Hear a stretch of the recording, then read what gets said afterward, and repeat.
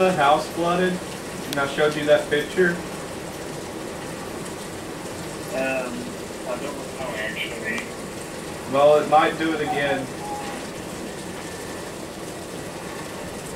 How do you get that, It's raining really hard.